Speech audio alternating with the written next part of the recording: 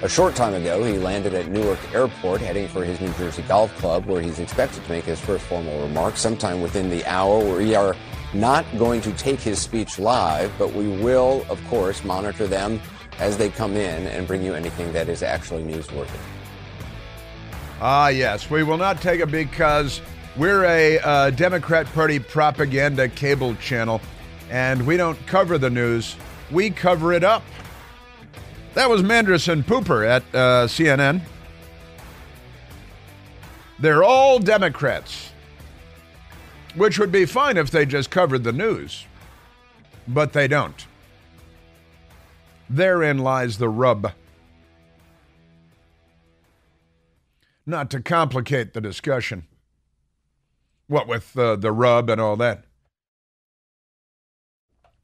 President Trump um, took his private 757 down to Miami day before yesterday. Stayed overnight at one of his own clubs. There's a golf course there, a beautiful place. Motorcaded to the courthouse. Could have gone in entirely underground, but decided to give him a little bit of a distant uh, photo opportunity, a photo op as he entered the building. Uh, because they, they crave him. They crave, and like the way that psycho killers crave their prey uh, and the media, you know. And he went into the courtroom. Apparently, President Trump did not speak. He allowed his lawyers to do the uh, the talking, um, and um, he uh, his lawyers pled not guilty to the 37 Democrat Party charges that have been brought against him selectively uh, that uh, were not brought against Hillary Clinton, and and I'm going to guess will will not be brought against Joe Biden uh, even though, you know, classified documents here, classified documents there. Hillary Clinton destroying documents by the tens of thousands, even though they were under subpoena by the Congress. But uh, when you're a Democrat, it's a different ball of wax, isn't it? Different thing altogether. So we've uh, we've got that. Now let me get to uh, let me get to the the president uh, Trump yesterday and the news media. We still call them the news media, don't we? Is that uh, is that a label that we can use for them? The news media. Pretty extraordinary stuff. And keeping in mind, I'm going to get to this. Today is tonight is the annual congressional baseball game, the annual congressional baseball game, and um, it's the anniversary of the Democrat Party Bernie Sanders campaign volunteer by the name of James Hodgkinson shooting Congressman Steve Scalise. That was six years ago today, 2017, and um, and uh, he was shot to death by the police because it was a suicide attack, yet another suicide attack. Keep in mind also there was another suicide attack by a Democrat uh, against the police on Capitol Hill three months, almost three months after January 6th. January 6th. And, um, and uh, nobody talks about that either. That was, that's been swept under the rug. Another Democrat, he was a racist, a uh, left wing militant, and a cop hating killer and that's okay because you know Democrats. So we get that we got that going for us as well. Now let's get to uh, let's get to some of the and the and then the Democrat transgender targeting the kids, the nine year olds, and they have they they're indoctrinating the children in Charlottesville, Virginia, of all places, with an entirely gay alphabet. They're teaching them the alphabet all over again. This time it's the Galphabet. It's the gay alphabet and the alphabet now being taught to nine year old kids in school because it's Gay Pride Month. And so they've got an entirely gay alphabet, right? Guess what A is for? all right, let's get to guess what B is for. I uh, let's all right. Let's go to the. Uh, let's get back to the. Let's go to soundbite number two. This is uh, the cable news network last night, CNN, and they had this left wing uh, radical uh, lawyer type on named Elie Honig, and he's an extremist. And uh, then Jake Tapper, who's a, a former Democrat Capitol Hill staffer, worked for the Democrat member of Congress whose son married Chelsea Clinton. I assume he was at the wedding, you know, being a former staffer and a media actor for the Democrat Party and everything. And uh, here they are on CNN last night because President Trump, after he left the courthouse yesterday, after pleading not guilty to everything, went to a Cubano restaurant, a Cuban restaurant, to get some delicious food. And he went in to get something to eat. Been a long day and a lot going on. And he went into the uh, the Cuban restaurant where he was uh, treated like a conquering hero and their applause and uh, yay, President Trump. And then he picked up everybody's meal. He paid for everybody's meal in the restaurant, and they loved him.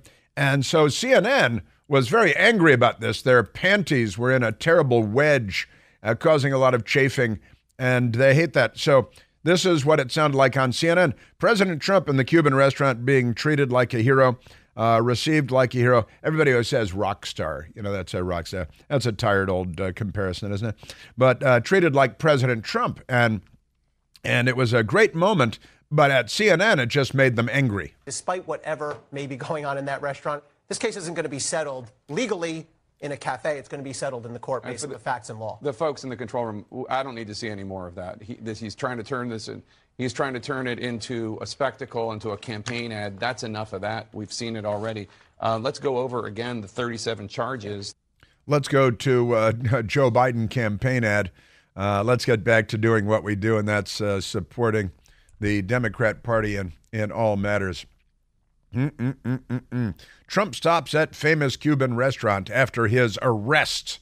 CNN uh, headline. See, they want to focus on the second part and not the first and a popular Cuban restaurant after pleading not guilty that has a, a great, he uh, says, food for everyone, President Trump in the Cuban restaurant.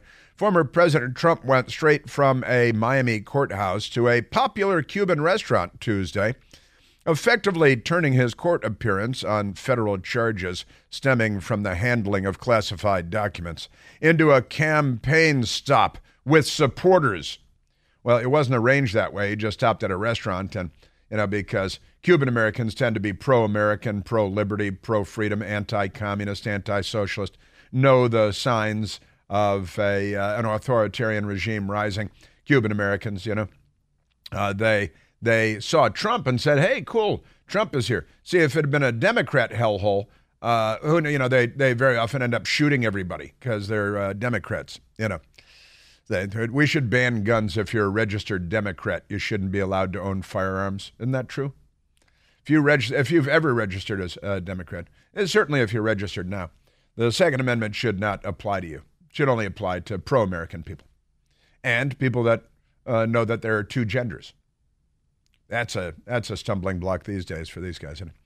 So Trump arrived at Versailles restaurant. Sounds kind of French, not Cuban, doesn't, but it's called Versailles in uh, Miami. Minutes after leaving court, he posed for photos with staff and supporters and uh, flashed a thumbs up shortly before pleading not guilty on 37 federal counts. They're kind of uh, uh, mixing the two the two events here. Food for everyone, Trump shouted at one point uh, those in the building saying happy birthday to President Trump, who will turn 77 years old on Wednesday. That's today. Today is Flag Day, and it's President Trump's birthday. Walt Nauta, a co defendant in Trump's document case, was also at the restaurant. Well, everybody was hungry, and everybody loves Cuban food. Cuban, Cuban food is delicious, right? And, uh, and in Miami, there are a lot of great, and South Florida, a lot of great Cuban restaurants everybody, if you don't know Cuban food, uh, you should because it's uh, it's great uh, cuisine. Now on uh, that was on CNN. They had to get away from it as fast as possible because they said it looked like a campaign event, and God knows. Now this is the same network that had the Trump town hall recently. That that that got their uh, panties in a bunch too, didn't it? And that Christiane Amanpour at the Columbia School of Journalism at Columbia University, uh, graduating, she gave the commencement address and she condemned her own network for allowing Trump the airtime because they hate. They hate a lot, you know. And they riot and loot a lot. Have you noticed that? There's a lot of looting that goes on. But over on MSDNC, over on MSDNC, they had Chunk. Chunk was on. He doesn't do that. Uh, well, he's still doing the Sunday show for now. But they gave it to a, a left wing uh, woman of color, a WOC, because Chunk is a, a white man who may even be marginally straight and that can be a problem at NBC Fake News. So here is uh, Chunk on MSDNC yesterday, um, and he's very upset that Cuban Americans would be anything other than left wing radicals, just like him. Now, Chunk Todd is a former Democrat Senate campaign staffer, and his wife has a multi million dollar business that has taken in millions from the Bernie Sanders campaign. She's another left wing Democrat political apparatchik and operative with, uh, uh, I think they're based in Alexandria, Virginia. Her political uh, business just takes in millions from the Democrats. And then Chunk Todd interviews Bernie Sanders and stuff while his wife is taking in millions from the Bernie Sanders campaign and never mentions it because you know it might as well be coming from Ukraine, honestly. So here is uh, Chunk yesterday, very upset about President Trump. Also, there is a there is a faction of South Florida. Uh, uh, very conservative MAGA Hispanics who are very much rally around sort of almost see common cause of the injustices of America with Cuba and Venezuela, and he's he's he's trying to wrap himself in this uh, in the in the sort of the folks who claim they're exiles in the exile community, and it's a it's a real perversion of what the exile community used to fight for. I mean, this is this is what makes it so surreal to see it here in, in the United States. We were the safe haven for those that were escaping uh, moments like this. I, I, you know, it's just what a bizarre moment, and I, and I think again, it's going to take years for us to understand it. Let me see if I can help you out here, Chunk. Because it could take seconds. It could take seconds and not minutes. Um, the Cubans fled left wing authoritarianism. The Democrat Party has been taken over by left wingers who are authoritarian in their orientation. And the people that escaped the glories of socialism in Cuba recognize this, even if you don't. How about that? Didn't even take years. Yes, yeah, that didn't even t- didn't take years to understand that, did it? You almost they almost see common cause, and and first of all, that was racist. The whole thing was completely racist. Chunk once again proves himself to be a racist, racist, and uh, racisty kind of uh, Democrat racist. The Democrat Party is the party of the Klan and Jim Crow, of lynching, of standing in schoolhouse doors, of the soft bigotry of low expectations. They're the Democrat Party, and uh, isn't that amazing? So that was uh, that was Chunk. So you heard CNN, and then you heard um, uh, MSDNC with Chunk, and yeah, those damn Cubans. It's a it, they butchered the whole refugee from socialism thing. No, no, that's not what's going on. That's once again backward. The opposite of the truth. But thanks for your efforts there, Chunk. I'm, uh, I'm sure that your dozens of viewers were enriched by the experience of listening to you misrepresent everything that's taking place everywhere in the country and in the world. Uh, Rachel Maddow, Rachel Maddow, she uh, is she transgender? she, I don't know. Is she? She uh, Rachel Maddow. She's uh, you know Ivy League, Oxford, and wrong about everything. Absolutely wrong about everything, as so many of them are. You know those people, the lefties that go to all the best schools and end up like William Ayers and Bernardine Dohrn and and Chesa Boudin. Um, you know, bomb throwing, cop killing, terrorists who uh, you know got an Ivy League education out of the deal. So it's uh, it's pretty good. Rachel Maddow was on the television last night, um, and they uh, stake out their political position. You know, before the event happens, they don't cover the news. They decide not to cover it based on their political worldviews, which are radical and extremist, and the Democrat Party. Again, keeping in mind Benito Mussolini's definition of of fascism is a merger of state and corporate power and it's on display all day, every day. Just turn on MSDNC any hour of the day. We knew heading into this that he was planning to make these remarks. We are prepared for his pre fundraiser remarks tonight to again be essentially a Trump campaign speech. Because of that, we do not intend to carry these remarks live. Um, as we have said before in these circumstances, there is a cost to us as a news organization to knowingly broadcast untrue things. We are here to bring you the news. It hurts our ability to do that if we live broadcast what we fully expect in advance to be a litany of lies and false accusations, no matter who says them. Like uh, Russian collusion every hour for three years, and the uh, Steele dossier, and Hillary can't lose, and Trump can't win, and the uh, 51 intelligence officials signing on to a letter saying Hunter Biden's laptop is Russian disinformation or has all the earmarks. And uh, you guys uh, go with all these lies. You've been go you go with lies all day, every day. You have for years, and they're all from the same political perspective. Every single one of them, year after year. Isn't that amazing? Yes, sir.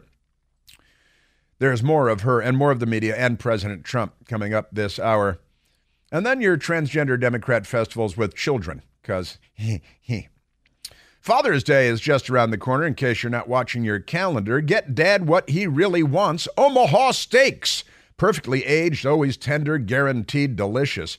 I've got them at home right now myself, Father's Day experts. They've got Father's Day experts at Omaha Steaks. They've made it very easy to put a smile on the big guy's face. You know the big guy. This summer with hand selected packages. Head over to omahasteaks.com on Al Gore's amazing internet. Use the promo code PLANTE. That's me, P L A N T E. Why is there an E? Nobody knows. Use my name at checkout and save $30 off your qualifying order. Packages can include fork tender bacon wrapped filet mignons air chilled boneless chicken, burgers, all kinds of great stuff. And don't forget to save room for dessert because most gift packages come with four delicious caramel at- apple tartlets. Cook them up in the oven. They couldn't be more delicious. Getting hungry just talking about it. Go to omahasteaks.com, use the code PLANTE at checkout, and get $30 off. An unforgettable gift for dad, guaranteed to make his day. Because if there's one thing we know for sure, it's that dads want steaks. That's omahasteaks.com. Use the promo code PLANTE at checkout. A minimum order is required. See the site for details.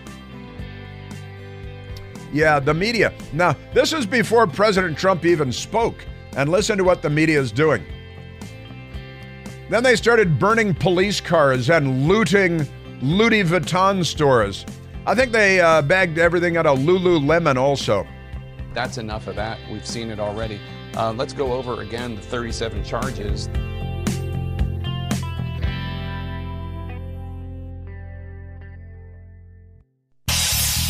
Hey, Chris here with some exciting news. Now you can listen to me live on the WMAL app. Doesn't matter if you're in your car, in the office, on the go, the WMAL app delivers crystal clear around the clock news coverage anywhere with cell service or Wi Fi. So don't miss a second of your favorite shows. Download the WMAL app today on the Apple App Store or at Google Play Store.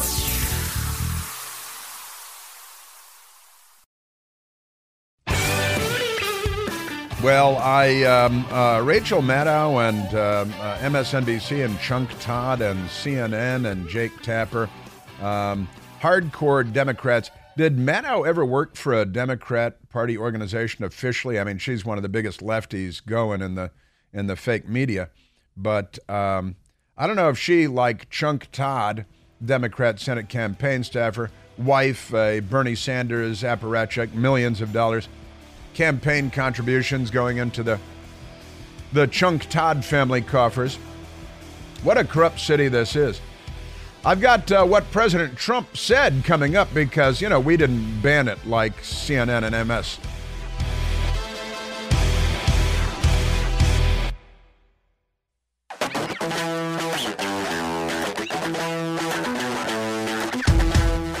This is, as any schoolchild can tell you, Stars and Stripes Forever by John Philip Sousa. Because today is Flag Day. That doesn't mean uh, gay flag day or transgender flag day. It's the American flag. American Flag Day comes right in the middle of, you know, the Democrat Party's sexual panic. This is their annual month long sexual panic. Really, it kind of goes on all year, doesn't it? Every year. Yes, it does. Happy Flag Day, America, and happy birthday, President Trump. President Trump's 77th birthday today, and uh, Flag Day in the United States of America, which is the greatest country that ever was and the greatest country on earth. And the left is here to destroy your children and the country and uh, Flag Day and uh, everything capitalism, freedom, liberty, a free press. they destroy. The Destructo machine. You know how they are. Pretty amazing. All right, uh, just I'm going to get to the phones in just a minute. Let me just uh, mop up with one more Rachel Maddow from last night because uh, President Trump was going to be speaking at his golf and country club in Bedminster, New Jersey, after flying on his 757 back to uh, New Jersey and uh, being in in uh, Miami to go and plead not guilty to the Democrat charges and then get some food at a Cuban restaurant where he's a hero, and that really upset the media too. How could the Cuban Americans like President Trump? They and they're come on. They, and they just don't get anything. They don't follow the news. They know nothing about history. They know nothing about the United States of America except they know they're against it. That's uh, that's pretty much it. That's our news media dirty, rotten, um, uh, this and that. All right, uh, Rachel uh, Maddow, who's uh, talk about white privilege. Boy, she's been riding the wave of white privilege for so long, hasn't she? Uh, can I say she? Because I don't know what her pronouns are at this point. Rachel Maddow last night on MSDNC. I do not say this with any glee. I hope it is clear that this is not a glib decision. Lie. We take our responsibilities seriously. Lie. We revisit decisions Lie. like this all the time. Three we make the lies, four lies. That we can in real time every time. Five lies. But tonight, our call is this. We will monitor that speech by the newly indicted former president. Monitor. We will not carry his remarks live.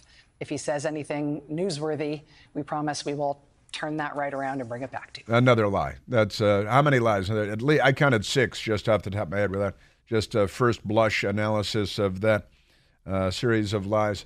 They, uh, and we will monitor, monitor like the East German secret police, the Stasi, would monitor your phone calls. Will, of course, monitor them as they come in and bring you anything that is actually newsworthy. They're going to do the same thing at CNN with Manderson Pooper and uh, and with Rachel Maddow, both of whom are celebrating Pride Month, aren't they? That's because LGBTQ, Q, I A A, and uh, and that's and that's just fine. Now leave the kids alone. Can you leave the kids? No, they can't. That's coming up in a little bit as well. All right, let's go to the uh, telephones, Michael. Let's go to uh, Pete calling from Stafford, Virginia. Peter, you're on the Chris Plante Show. Hey, Chris, how are you doing? I'm great, Um, Pete. Actually, this, yeah, it's my second call. I'm looking forward to seeing you in two weeks. By the way, on our on our cruise. No That's kidding. Excellent. Uh, uh, outstanding. Yeah, well, remember we were on the the Alaska cruise together. So. Oh yes. Oh, yeah. Well, you're the FBI. Uh, you're the FBI guy.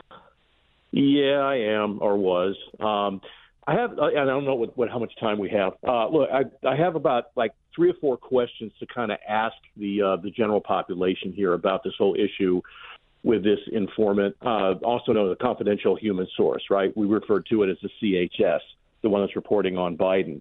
Um, let me list these real quick, and then we can, if you don't mind, and then we can discuss them. But all right, uh, we refer to it as the CHS, or confidential human source. All right. Uh, they keep talking about how his life is being threatened, but no one has defined as to who's threatening him. Is it someone in a foreign country?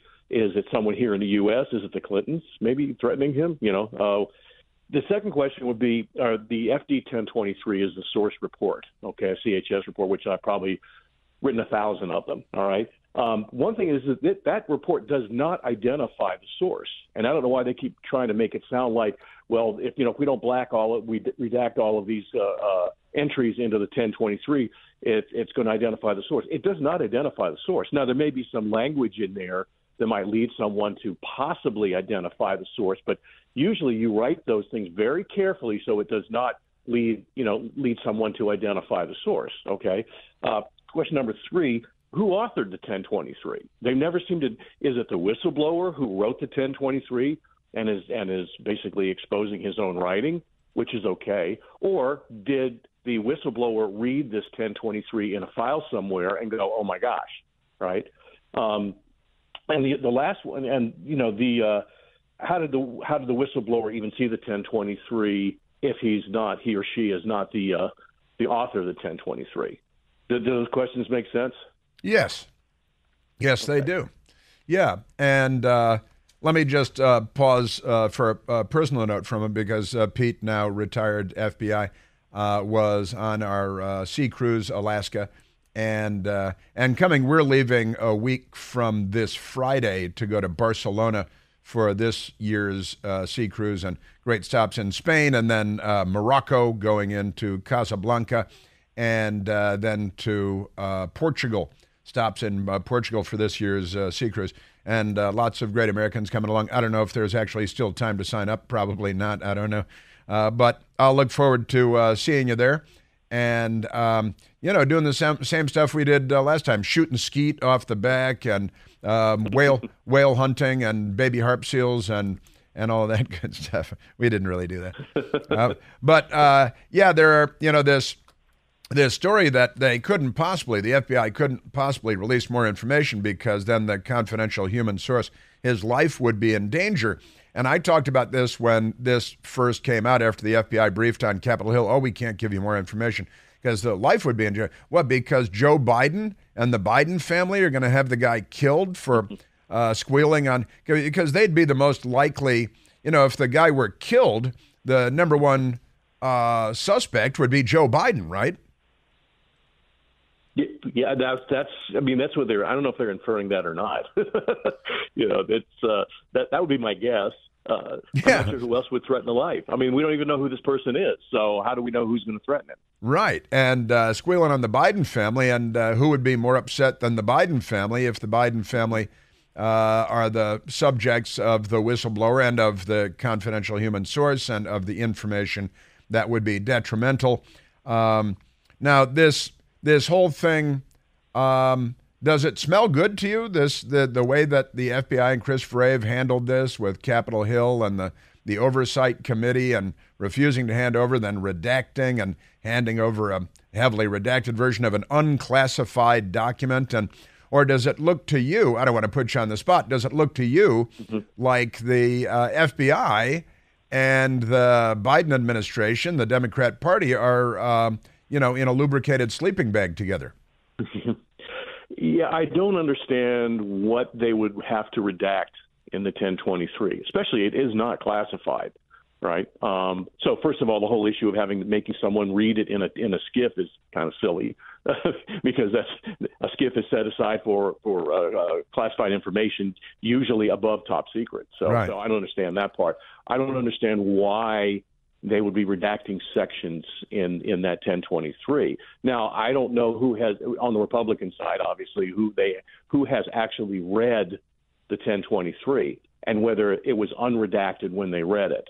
Um, but what is it that they would be redacting in there? It's again the information in there is other obviously other people within the FBI have read it, probably within the DOJ have read it unredacted. Um, so what information in there? I don't understand what information in there would be should be redacted. It's not going to identify the source. It shouldn't. I mean, that's the way these things. As I said, that's the way these things are written. Is so to to protect the identity of the source. There's ways of phrasing it to do that. So the identity of the source shouldn't, unless someone. And again, apparently there's several. I guess is what there's several uh, 1023s, not just one. Um, and they haven't really talked about that too much. And again, I'm just getting this from the news. I mean, I, I still had no talk to people on the inside, and I talked to all of us old retired guys and we all have a sort of a different, you know, spin towards it. Um, I, I, you know, it's just that the hearings bother me a little bit too, just because I know that Paul Abbate was always very, very well respected within the bureau, very well regarded. So I was a little disappointed in the uh, in the way the hearing went recently. I better say, better not say much more than that. But uh, mm-hmm. so I'm not sure what the, well, I'm not sure what's going on with this. Uh, you know, somebody's trying to protect somebody, I guess, from what I can tell. Better not say more than that. I got to tell you, you know, uh, former FBI uh, agents are are uncomfortable about uh, speaking out loud in public uh, and telling the truth because nothing gets you in trouble like the truth. Yeah. Um, you know, most of us are heartbroken, Chris, about what's going on there. And I've talked to a lot of people who are on the inside. And to be honest with you, if I may say a little something, to, you know, in defense of the, the general population, I mean, there's 12,000 FBI agents, 13,000 FBI agents, and you know, an agent in Miami, an agent in Chicago, an agent in Houston, whatever, they have nothing to do with this. It's a very small number of people that are ruining for everybody else. Yeah. Most of the agents are like, hey, they're just working their cases. Yeah. You know, and they put their head down. Um, and they're like, geez, we don't know what's going on, but I just want to work my cases and put my bad guys in jail. Um, right. And so I do have a certain amount of sympathy to a lot of these, uh, just like I said, it's a very, very small number of people that are kind of ruining it for everybody else. Yeah. Um, you know, my generation, the, the, the baby boomer generation, you know, I mean, when I first joined the Bureau, there was most of the agents were Vietnam vets. You know, I, I missed it by like six weeks. So uh, they, we worked very, very hard over the next four decades or so to repair the, the, the reputation of the Bureau. It was, Right. a, I mean, I was proud of what I did. So it's kind of hard to see what's happening now. I think things will eventually come around. I'm hoping. Um, but it's going to have to go through a painful period right now. Yeah. Well, you need a lot more whistleblowers out of the FBI, and we need accountability, which is something we don't get much of in Washington, D.C. or in the United States of America when it comes to uh, people that are destroying uh, our institutions. And they are destroying our institutions, and they're doing it on behalf of the Democrat Party in every single instance, and the Biden administration in particular in multiple instances. And, um, it, it ought to be very disturbing for every American. If we only had a legitimate fourth estate uh, news media in the United States of America, I think we'd be a lot better off at this moment in history. But, but unfortunately, uh, one of the things that they poisoned very early on was uh, the news media, the left, and academia as well. And in fact, uh, listen, Pete, I'll look forward to seeing you in uh, Barcelona. Uh, I guess a week from this Saturday is uh, when we uh, marry up in person. Uh, it's going to be a great trip, and thank you for calling in. Um, saluting you. God bless America. Happy Flag Day to you. And um, and we're going to get back to uh, President Trump and and uh, what he had to say last night. Uh, and there was uh, plenty, plenty that he had to say. Um, and we've got uh, we've got a bunch of it for you. The news media, most corrupt institution in America, worse than the FBI, worse than John Brennan's CIA, Communist Party voting John Brennan, penitentiary face Brennan. Hey, listen, breaking news for all my fellow Americans. Biden's dangerous plan to force Americans into a digital dollar goes live in a matter of weeks. No matter what they tell you, don't believe it. It's not something that's going to help you or me. If you don't take action today, it may be too late. The Federal Reserve will be deployed in phases with the initial launch taking place on July 1st of 2023. It's called FedNow, and a whole lot of Americans are going to be completely surprised by this. Everything you've ever worked for is at stake, but there is a way you can legally opt out of the digital dollar before it's too late. Start by calling my friends at American Alternative Assets and get your free wealth protection guide. This guide is going to educate you on how you can protect yourself from a, a failing dollar, volatile markets, and, and get yourself into gold and silver IRAs. Give them a call today at 888, the number 4, Gold 20. Call them right now, 888 446 5360. Don't let Biden force you to use the government's new digital dollar. Call 888, the number 4, Gold 20.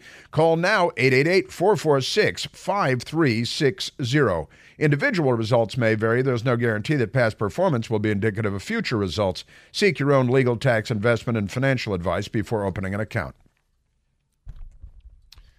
Um, yeah, yeah. That's all true. And what's Pete saying uh, uh, saying about the FBI and the 12 or 13,000 agents? All true.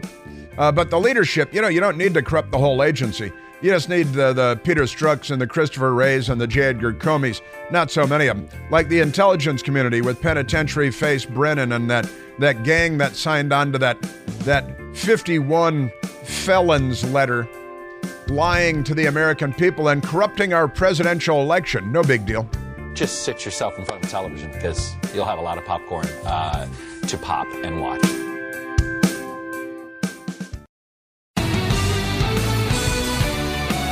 Today is not only Flag Day and President Trump's birthday, it's also the birthday of the United States Army.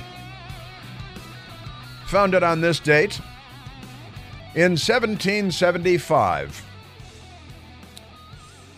You know, we, uh, we knew the, the British were going to have to be dealt with, so we started creating an army and a Marine Corps before uh, the Revolution. So, saluting the United States Army on this 248th birthday. Uh, the Marine Corps was founded in a tavern, which is which is fun, you know, I, uh, where they were serving beer, and uh, you know they had rifles. What's more fun than beer and rifles? Well, I know hard liquor and handguns, but that's uh, you know that's uh, another thing for another day. You're creating an army. Uh, well, we'll get to we'll get back to that later on. We've got uh, we've got President Trump. I'm looking at the clock, and I don't have time to uh, get because I uh, talk to nice people and talking to a lot of nice people today.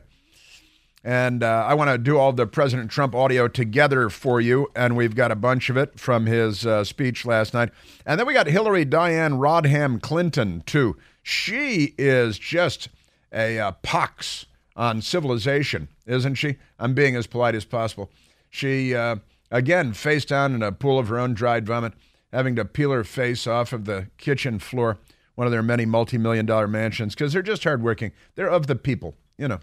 That's how you get all the multi-million dollar mansions like Joe Biden. And uh, they got they got uh, lots of money from Russia, uh, the Clintons. Or he had that five hundred thousand dollars speaking engagement in Russia. Most he's ever been paid for a speech, as far as anybody knows. But uh, that's the the you know the the people. All right, let's. Uh, we've got time for another phone call, and we're going to get to President Trump Scouts Honor, and then we got the Galphabet, the gay alphabet, at a grammar school in Virginia because it's all about the children. And um, so we got that. And oh, oh and and uh, more. We've got more because the gender confusion that the Democrats believe. The nine-year-olds and the Johns Hopkins University. They've got the new the Galphabet, uh, and then the children in Virginia. Those are the two sexual deviant moments for today's Democrat Party sexual deviance segment. That's coming up. What's the matter with you people? Let's go to uh, let's go to Joseph calling from Austin, Texas, home of Chuy's. Joseph, you're on the Chris Plante Show. Hey, Chris, I'm really glad that you played that Rachel Maddow clip because it's it's very revealing. She perceives herself as a religious leader, not a journalist.